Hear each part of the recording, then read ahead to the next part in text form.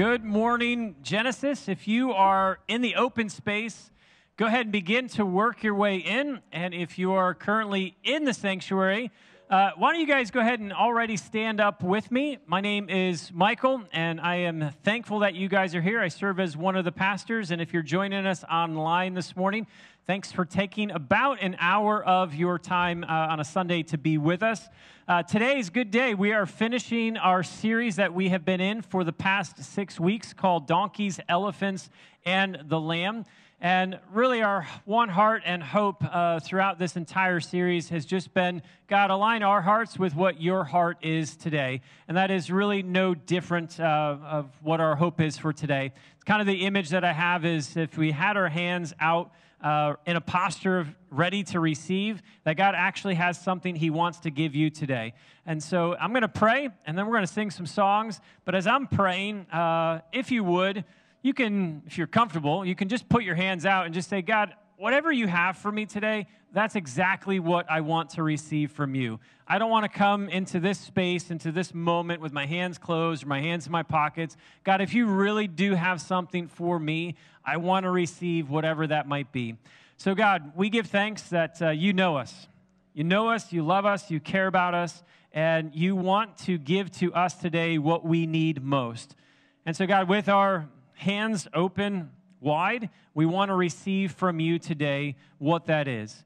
God, if there are some folks that just need some help, some hope, some encouragement, God, if there are some, some men and women that just need answers to questions that they have been asking, God, if there's some that just need challenge or conviction, reminders or inspiration, God, I pray with our hands open wide, we'd receive whatever it is that is from you for us in this moment, that we would leave this moment a little bit different than when we came in. And God, what I'm praying is that we would leave this space being able to say, We heard from God, we got to see God, and because of that, we're leaving here loving God more than when we first came in. So, God, we lift our voices to you. We give you our minds and our hearts to receive what you have uh, for us today through your preached word. So, God, take these moments and bless them, that this is truly a sacred time that we have together, and we're thankful for it. We pray these things, Jesus, in your name. Amen. All right, we got a new song. We're going to play the chorus, teach you the words a little bit. It goes like this There's nothing better than you. There's nothing better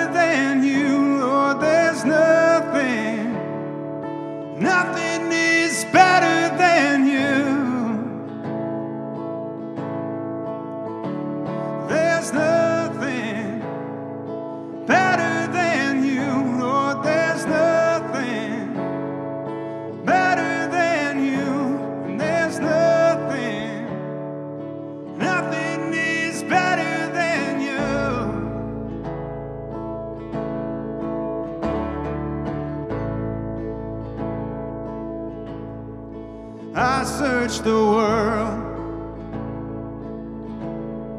but it couldn't fill me. Man's empty praise and treasures of fame are never enough. And you came along and put me back together. Desire is now satisfied here in your love. There's nothing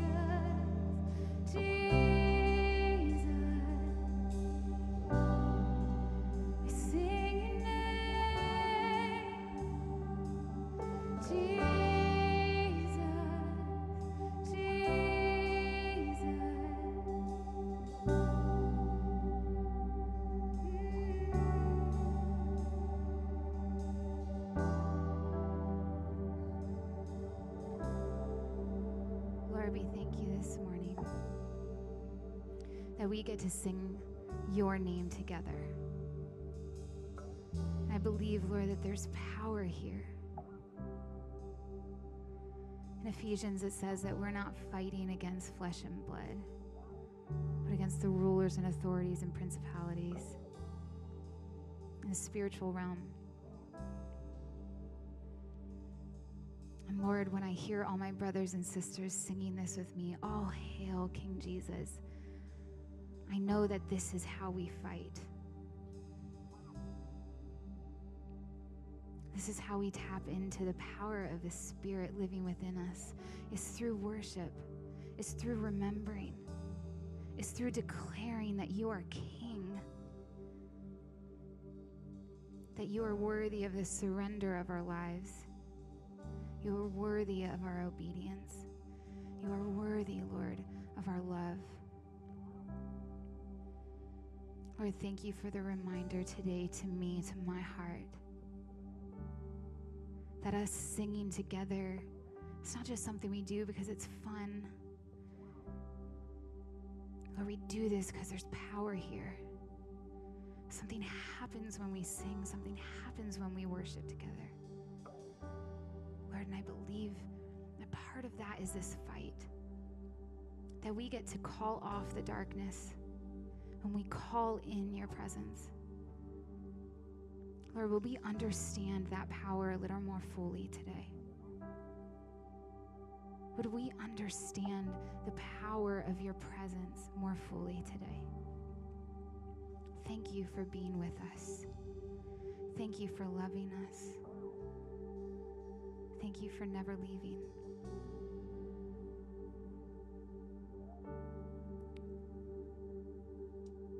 Lord, all power, all glory, all fame belongs to you. Be honored in our prayer, in our reading of your word, in our song this morning. Lord, we ask all of this humbly and expectantly. We love you. It's in the beautiful name of your Son, Jesus, we pray. Amen. You can have a seat. Uh, well, good morning. Thank you for being with us. My name is Kyle. I serve as one of the pastors, and uh, I am excited uh, to be with you this morning, but I'll also be honest with you. I'm, uh, I'm not sure I've ever had so much trouble writing a sermon uh, as much as I've had with this one. Because when you're tasked with preaching on politics, it just kind of feels like a lose lose battle. Because I've just felt so much pressure this week. And maybe the pressure is real, maybe it's not, but what I've felt is when it comes to something like politics, uh, everyone who's walked through the door, you already have your opinions. You, most of you, you think what you think, you know what you know, and so you're coming in here and you're more listening of what can I agree with and what can I disagree with. And you might not implicitly, I'm sorry, you might not explicitly want me to uh, endorse some candidate, but implicitly, the pressure I feel is that you want me to say some things about the Bible which will lead to the conclusion that you should vote this way or that way. And so I felt this pressure of, man, how are people going to interact with this? And, and that pressure kind of comes with the territory, so I'm okay with that. Uh, it's compounded with the pressure of, I'm sure you've heard the same ads that I've heard and seen the same commercials, that this is election is the most important election, right? This is for the soul of our country. And if that's true, I got, like, I don't want to mess this up. Like, if this is truly one of the biggest moments in our country's history, I don't want to be the guy to mess it up. And so I've struggled this week to write, and I've had to rewrite, and I've had to edit, and I've had to rewrite. As I've sought to answer this question, how do we live in the marriage of faith and politics? How do you live with faith and with politics? How would you answer that? And for some of you, you can answer it like that. Like you know. There's no uh, hitch in your step. Uh, you can't wait for Tuesday to come because you got your candidate and you're ready to ride. But for me, if I'm just being honest, I've struggled to have a robust answer. I've really struggled to get like this comprehensive view. And I somewhat saw this sermon coming like back in March. And so I started reading and studying. And I was trying to count up how much I've read on faith and politics. And I think I'm near like 3,500 pages. And here's my answer I don't know. I guess a lot of waste of time. It's complicated, it's hard. How do we live in the marriage of faith and politics? And I don't want to be the guy to mess it up for you. But then I had this realization the church has been messing this question up since its beginning. Like, we just want to take a little detour into church history. We have always messed this question up. Let's just think about it. Jesus Christ dies in 33 AD, rises from the grave, right, saves us, ascends into heaven 50 days later, Holy Spirit comes down, and the church uh, is institutionalized. And for the early church, life is hard, but politically speaking, it's not complicated. Because you're living in an empire that wants you dead. You have no political power, no political persuasion. The only thing politically you have is persecution. And so, this constant thread throughout the New Testament is how do you live unto Christ? Well, the empire wants to kill you. It's hard, it's not complicated. Look to Christ, that's your only hope. And this uh, same posture goes into the early church. When you think of kind of the bulwarks of the early church and some of the guys who shaped our doctrines and our theologies, they're all writing about the same thing how to live faithfully unto Christ in an empire that wants you dead. When you have no power, no influence, no social capital. And so all these guys are killed for it Ignatius, Polycarp, Tertullian, Justin Martyr, they're all killed to try to figure out how do you live between the marriage of faith and politics. Something crazy happens, though, in the fourth century. Emperor, the, uh, the Emperor Constantine converts to Christianity. And all of a sudden, everything flips. Life ain't hard anymore. Faith is legal. I got some power. I got some influence. I got a little political sway. But politically speaking, life gets very complicated. It takes all of a second for faith and politics to become this really ugly marriage of corruption and adultery, infidelity, as they try to live in the tension. And so it doesn't surprise us that one of the first early church writings that come out of this period is by a guy named Augustine. Augustine is probably the most influential church father uh, outside of New Testament authors. And he writes a book called The City of God. And the City of God is now about living in the city of God while the earthly city, you have some power, you have some influence. He sees the corruption. He sees the adulterous marriage of faith and politics. He says, Get to the city of God. This is where you belong. Don't live here. But we don't really figure that out. We keep messing it up. You get the rise the, of the Holy Roman Empire and the power of the Pope, who has complete authority over both government and church. And that much power leads to so much corruption, so much infighting that the uh, Holy Roman Empire splits with the Great Schism. Then you have East, you have West. In that time, you have Charlemagne, who has state sanctioned Christianity. Like bend the knee or die. In that timeline, you have the Crusades, right? Religious, political wars in the Middle East. This marriage of faith and politics, we keep messing it up. And so finally, in the 16th century, a guy named Martin Luther comes along and says, I've had it. No more. I'm sick of the corruption. So you get the Protestant Reformation. Right? And Luther says, go back to the Bible. Go back to Augustine. Go back to the city of God. Because in his view, if the Protestant leaders have control, well, then it will be pure.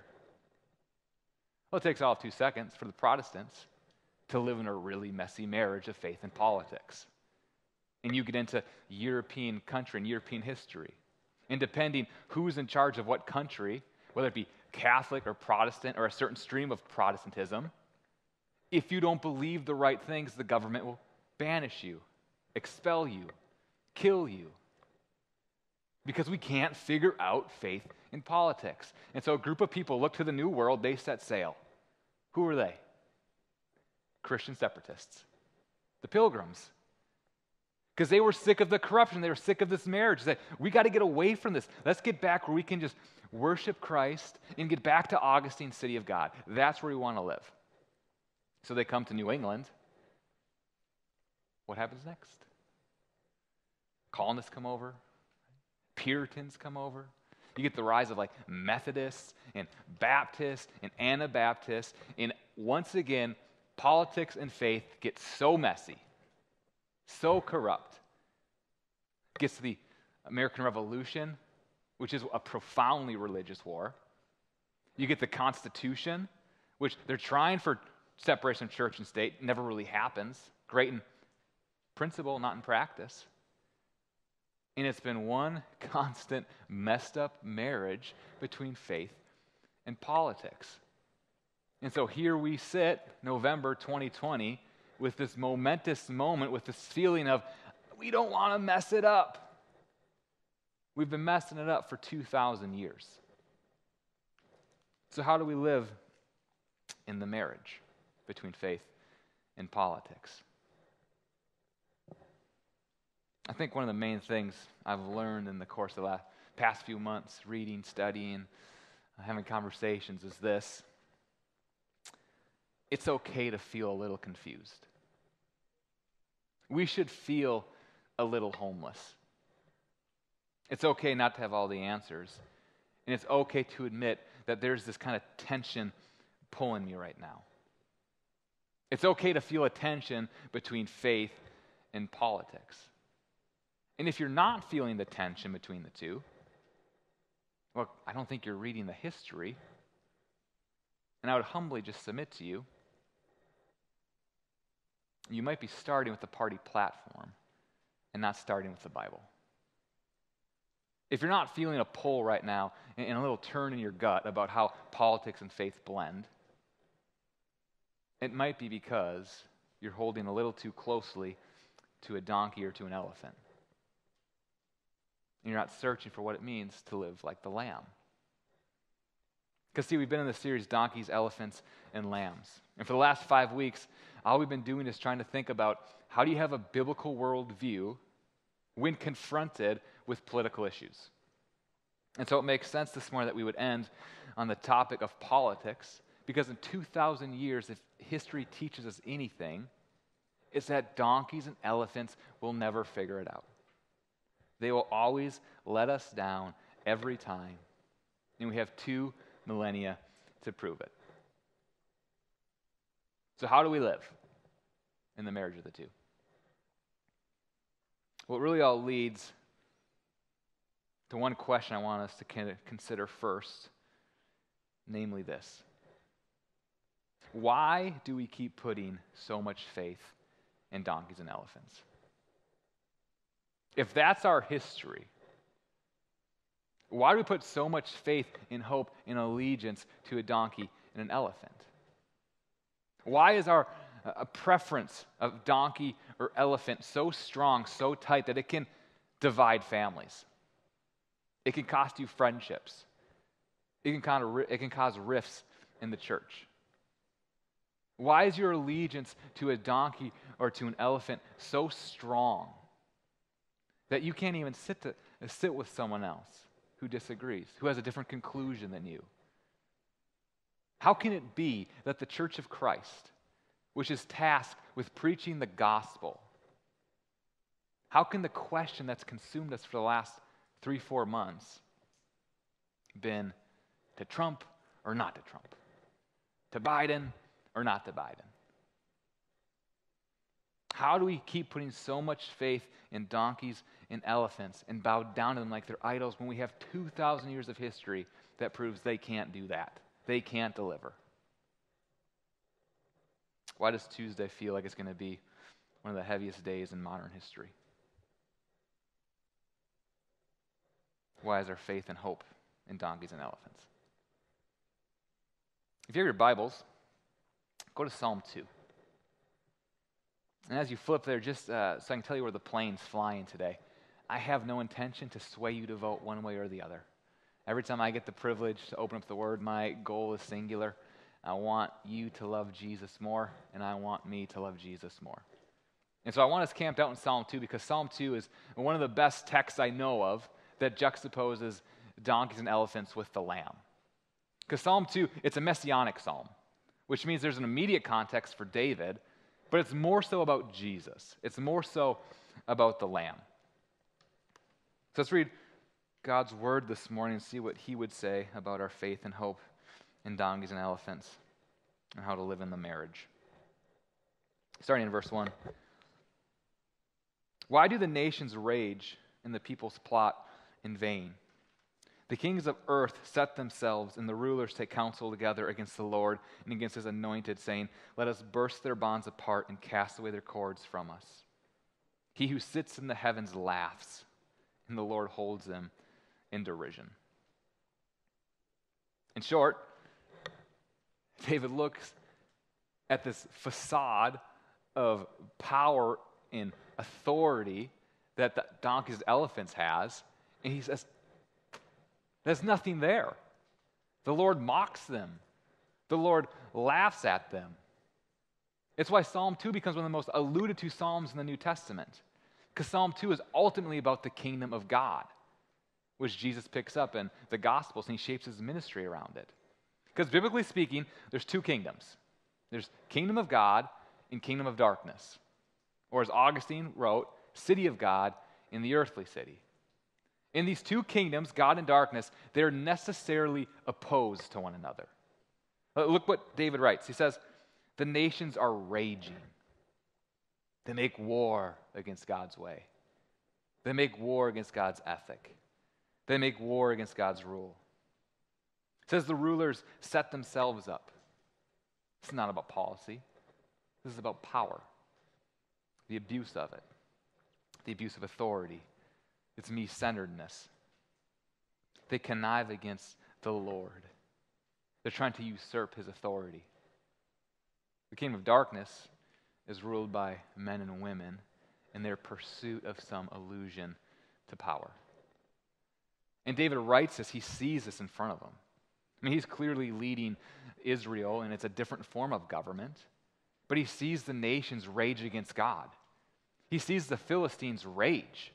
He sees the Amorites rage. He sees the Edomites rage. He knows Assyria will rage. He knows Babylon will rage. He knows the Greco Roman world will rage against the Lord's anointed. Right? This is the collision of the two kingdoms.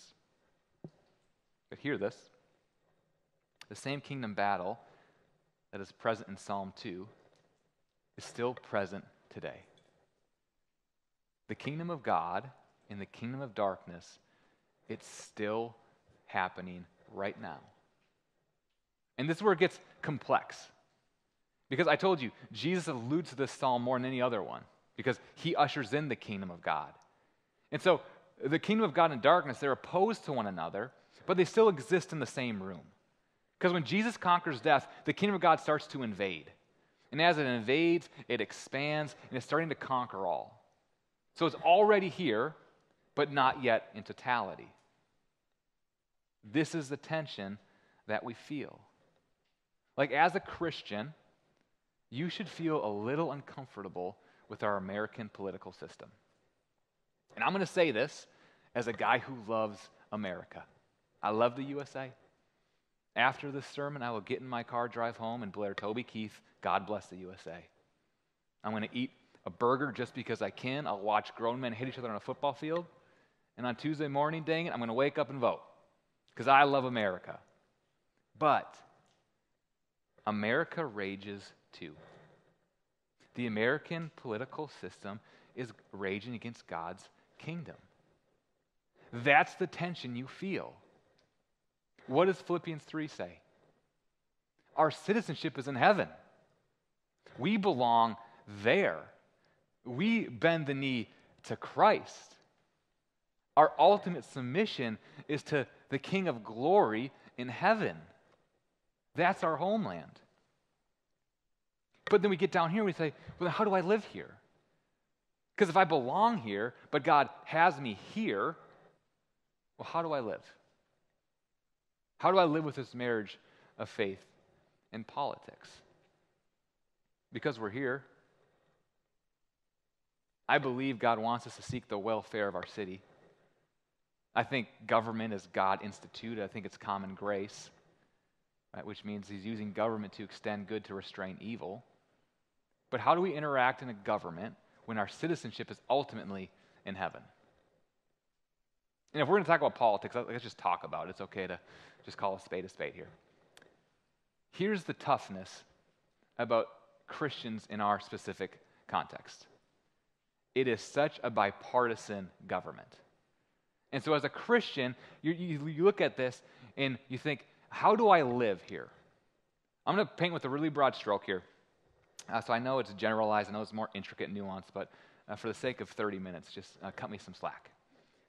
There's primarily two political ideologies in America there's conservative and there's progressive. Right? And so we're forced to choose between a backward politic or a forward politic. Because if you're a Christian conservative, you look and you want to go backwards.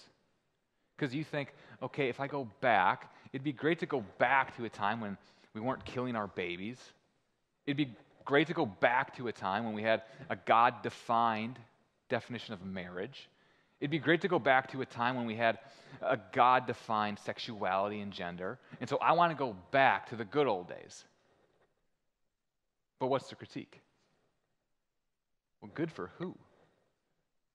Good for some. But you also have discrimination back there. You have Jim Crow back there. You have gender inequality back there. So it might be the good old days for the good old boys, not good for all. And so the pushback is okay, if I'm not going back, I got to go forward then. Right? We got to be progressive. Because what's the tagline? Get on the right side of history. Right? That's, that's forward politics. And so, as a Christian progressive, you would say uh, unilateral equality for all, no matter what. It's heal all social wounds and woes. It's engage in all these different ways that we make sure everyone feels like they have whatever they need as they define it. What's the critique? It's such an elevation of self determining, self defining, self autonomous people that you're so far outside a biblical definition of morality and a biblical definition of imago Dei. And so it's tug of war now. Do I got to go backwards because some things are better back here? Or do I go forwards because some things are better forward? And it's back and it's forth. And you, how do I live in this? Here's a question though What if both backwards politics and forward politics? What if they were both manifestations of a raging king? What if they were both more about us and less about the Lamb? Here's why I ask the kingdom of God is not backwards, it's not forwards. The kingdom of God is down. The call of the Christian is bring the kingdom down. That citizenship you have in heaven, bring that down. What does Jesus teach us to pray? On earth as it is in heaven. So, elephants can go backwards, donkeys can go forwards, but kingdom down has a much different ruler. It's a ruler the psalmist writes about in verse 6. He says, As for me, I have set my king on Zion, my holy hill, and I will tell you of the decree. The Lord said to me, You are my son. Today I have begotten you. As for me, I will make the nations your heritage and the ends of the earth your possession. In other words, since there's a different kingdom, we have a very different king. And immediately, this is about David and God's promise to David. But this is Jesus language King of Zion, holy hill, endless authority. This is about the Lamb. And so the psalmist is getting to, he says, the kingdom of God is marked by a different king. And the one who sits on this throne, it's Christ. It's the Lord's anointed. It's the Lamb. It's His rule. It's His reign. Jesus is being interviewed by a political person being asked political questions. And that's significant. And Pilate asks, Where's your kingdom? You backwards, you forwards. John 18. My kingdom is not of this earth. I'm kingdom down. If his kingdom is not of this world, why do we expect his kingdom to make sense in this world? The lamb looks very different, which means politically, we ought to look very different. Because we're trying to bring God's kingdom down. Our political positions, our political postures, our political platforms, our political punditry, it needs to have the aroma of Jesus. The way we engage, it needs to smell of Christ and of the Lamb. Because that's the kingdom we belong to, and that's the kingdom we're called to bring down, because that's the king we bow down to. Question As you think about where you line up politically, and maybe you've already voted, maybe you're gearing up to vote on Tuesday. Is your baseline question how can I best interact in a way that brings the kingdom down? How can I best interact in a way that's about the Lamb ruling his king? How do I best represent my citizenship, which is in heaven? Or have you put so much faith and so much hope in donkeys and elephants? And so you'll just settle. We are kingdom down people. We're not allowed to settle. If you think about uh, the way you interact and think, hear this, but hear it in love, but definitely hear it. If your political posture is marked by arrogance, kind of a self righteous, I know everything and I am God's gift to this planet because I have all the answers to all the things. And, and you're an idiot if you don't think like me, and you're a moron if you don't vote like me. And I don't have a category for how you could think differently than me. Right? If that's your political disposition, you're not bringing heaven down, you're bringing hell up. If you're going to be on the conservative side of things, it's great. And as a Christian conservative, you're going to constantly fight for against abortion. It's a worthy fight. But if that fervor doesn't lead you to also fight against racism, doesn't lead you to also fight for the oppressed and for the immigrant, doesn't lead you also fight for oppressed communities and look for the restoration, you're pulling something over, but it ain't heaven. If you want to be on the progressive side of things, and you, and you have this, you know, anger about the unbiblicalness and the immorality of the president, and it's constantly calling him out, and the people who align with him Okay.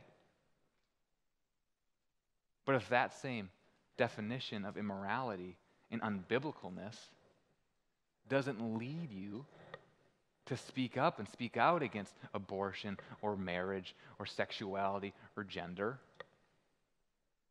you're pulling something over, but it ain't heaven. We are kingdom down people. And Jesus' kingdom doesn't fit with what we have down here. He's not going to go backwards all the times. He's not going to go forwards all the times. So we can stop bouncing him around like a political volleyball, all in some pseudo pursuit of his glory. No, our kingdom, our king, is heaven down. That's who we interact with. There's no reason for faith and hope and elephants and donkeys. Because it doesn't fit with the kingdom of God, it doesn't fit with the lamb.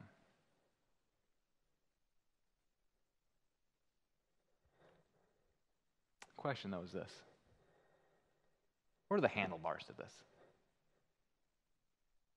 Because that's true, it's right, but we still live backwards forwards. We still have to make a vote on Tuesday. We still have to engage in politics. And I'm grateful for a friend this week who reminded me that politics is so much more than just one vote.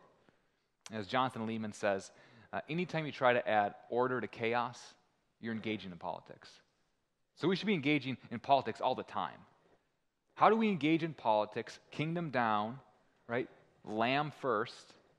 We're kind of forced to go backwards, forwards.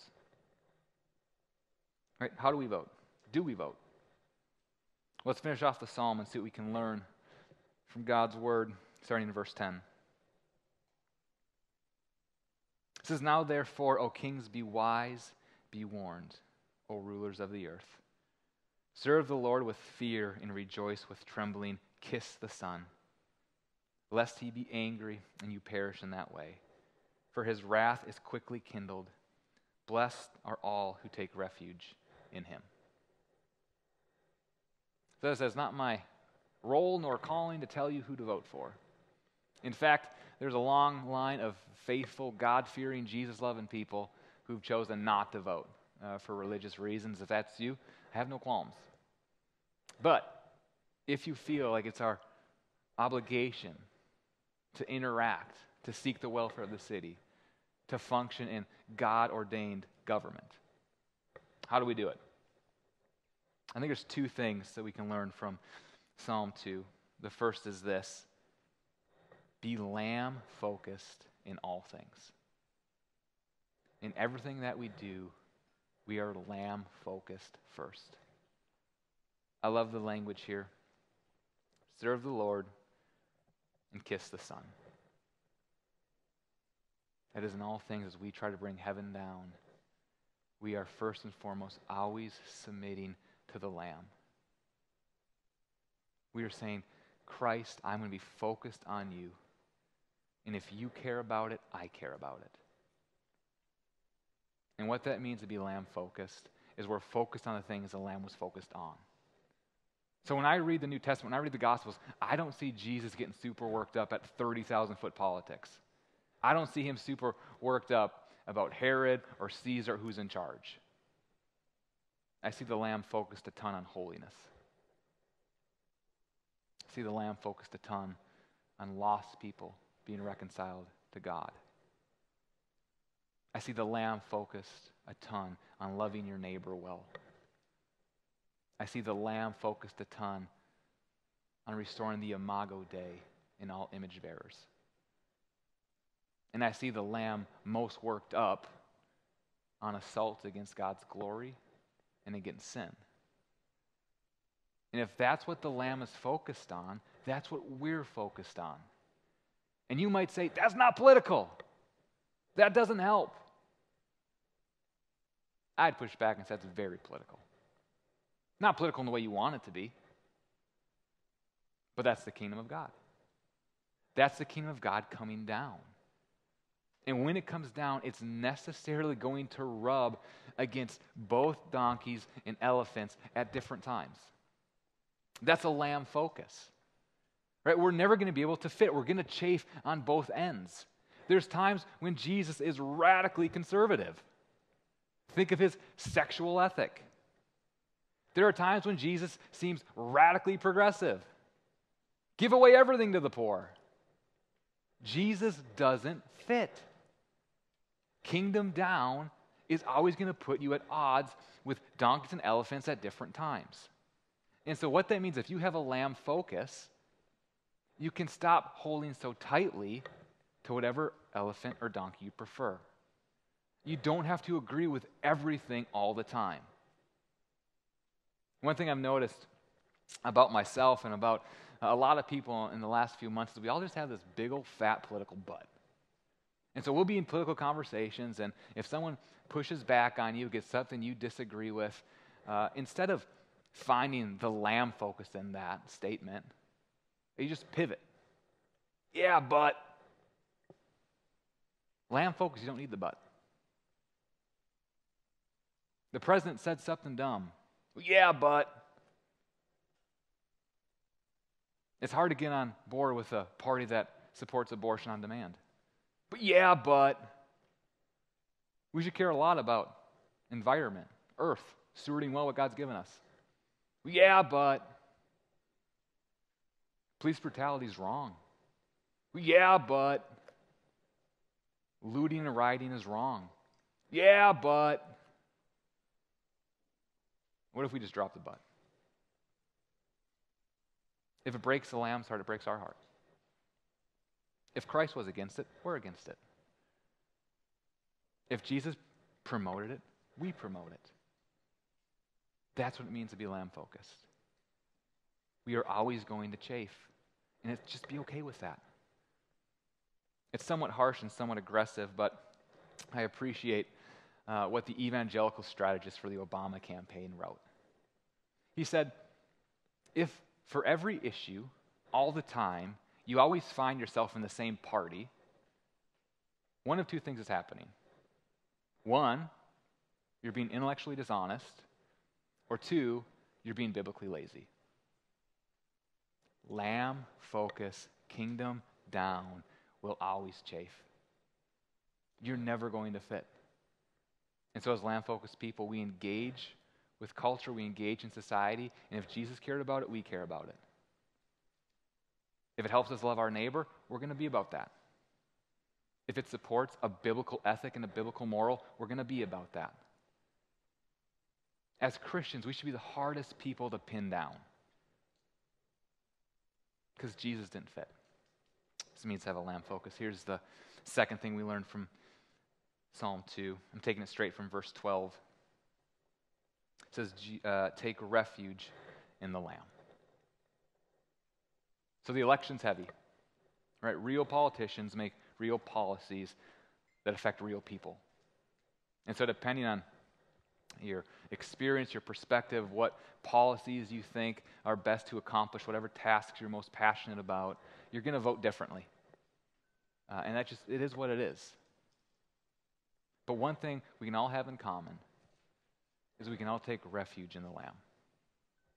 Because on Tuesday or Wednesday or whenever we figure out who won the election, some will be very happy and some will feel like the world's burning down around you. The Lamb still reigns. We can still take comfort in who God is for us in Jesus Christ. Because the kingdom we belong to, in the king we serve, he was not elected in. He reigns because of an execution. The church will stand forever. Your blood bought citizenship is secure. And so I know it feels heavy. I know it's going to be stressful for some. But give God's sovereignty some handlebars. The Good Shepherd still tends his flock. We can take refuge in Christ. Donald Trump will be a footnote in a history book. Joe Biden will be a footnote in a history book. The Lamb will reign forever. We can hold on to that. Our future is incredibly bright. It's the refuge Psalm 2 is helping us get to. How do we engage? We have a lamb focus. If Jesus was focused on it, we are focused on it. And we take refuge in who God is. 2,000 years of political faith, marriage dysfunction. The donkeys and elephants have yet to figure it out. I'm incredibly pessimistic that this go around we will. It's okay to feel like you don't belong. It's okay to feel a little politically homeless. It's okay to feel this tug of war. That's kingdom down. And if Jesus didn't fit, maybe we shouldn't either. Let's pray.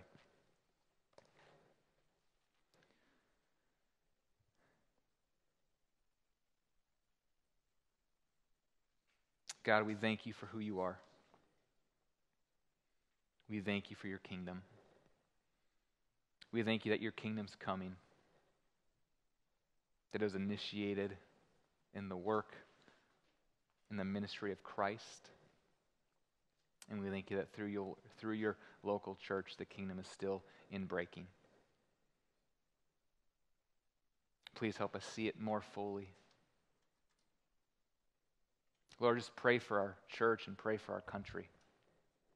Pray for our leaders. It's just a hard, heavy time. But I pray uh, our church, I pray the American church would be a witness of what it means to have a lamb focus. I pray that we would be the hardest people to pin down because there's just this coolness. Not an apathy, not an indifference, but a calmness. Because we're taking refuge in you.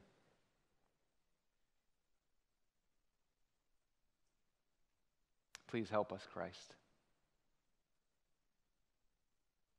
Heal wounds that have been made in the past few months.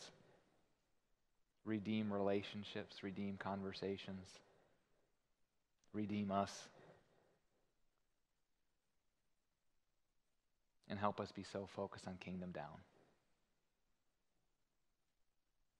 Christ, help us resemble you in all ways from the way we engage our families, the way we engage our friends, the way we engage our coworkers, and the way we engage our politic. Let us have the aroma of you. And pray your name, Christ. Amen. Will you please stand and worship with us?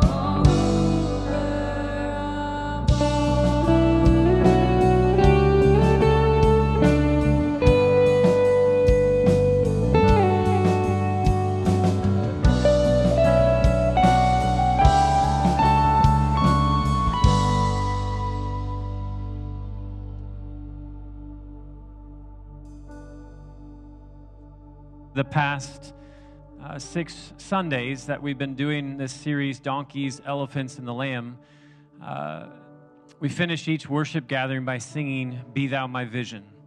And the reason that we are singing that song is because that's our one heart, that's our one hope, and that is our heart. Uh, as we have navigated some challenging, difficult topics over these past six weeks, as we've been praying and singing and asking God, the end of the day, we just want you and who you are and what you have done for us to be our vision. That who we see in you would shape how we see ourselves, how we see the people around us, how we see the world around us, and that would drive how we love and serve and engage the world around us. If government reminds me of anything, it reminds me that I'm a sinner. Uh, and it reminds me that there's a lot of evil uh, in me and a lot of evil in the world. And there is not one political system or government, certainly no donkey or elephant, that could ever heal the sin within my own heart. I love the simplicity of the title of this series Donkeys and Elephants. They can't do anything to help my soul get right with God. Only the Lamb can. Only the Lamb can heal my sin, forgive my sin, and make me right with God. And so, if you've been navigating this entire series with us, or you're just joining us today in this series for the first time, we'd want you to know that it is the Lamb and the Lamb alone that makes you and I right with God both now and forever. So, if you have never looked to the Lamb, to Jesus, to make you right with God, it's His death, it's His resurrection, it's His life that brings forgiveness and healing and peace now and forevermore. So, Jesus, we give thanks that it is you and you alone, the Lamb who takes away the sins of the world, that can heal our soul, that can bring peace between us and God, both now and forever. Jesus, we give thanks for your life that was perfect without sin. We give thanks for your sacrificial death on the cross. But we give thanks that the story did not end in a tomb or did not end on a cross, but new life is found in an empty tomb. So, Jesus, we give thanks that you have not only conquered sin, but conquered death. And for any one of us who looks to you and you alone will find life and life eternal. Forgive us for the many times we've looked to donkeys and elephants and other political systems to figure things out. Jesus, we look to you and you alone. And God, we have sung it now for six weeks. We have prayed this for six weeks that you would be our vision. So, God, when we go from here and we wake up tomorrow and Monday and we do what we'll do on Tuesday and we wake up on Wednesday and Thursday, we pray that you and you alone, Father God, would be our vision. And what we see in you would shape how we live and love in the world that you have placed us in. So, Jesus, we give thanks for your goodness and your grace and your kindness to us. May we extend that to everyone that we will see and interact and, and engage with this coming week. We pray that, Jesus, in your name. Amen. Thanks again for being with us. Thanks for joining us online this morning.